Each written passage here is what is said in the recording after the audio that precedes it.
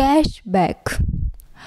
बहुत सारे ऐप जैसे मीशो, अमेजन, फ्लिपकार्ट आदि आपने, आदि पर आपने कैशबैक सुना होगा, क्योंकि जब भी आप कोई प्रोडक्ट मंगवाते हैं तो उस पर लिखा कई बार लिखा होता है कि आपको ये कैशबैक दिया जाएगा। कैशबैक क्या होता है कि जब आप कोई प्रोडक्ट खरीदते हो या फिर कोई बिल ऑनलाइन देते हो तो जो पेमेंट करते हैं, उसका कुछ परसेंट हमें वापस मिल जाता है।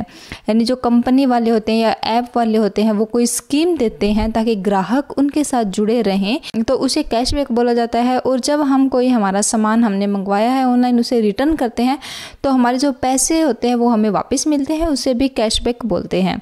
कैश का मतलब होता है नकदी, रोकड़ में बदलना या बैक यानी वापस कर देना, यानी जो हमारे पैसे हमने दिए हैं, वो वापस मिलना।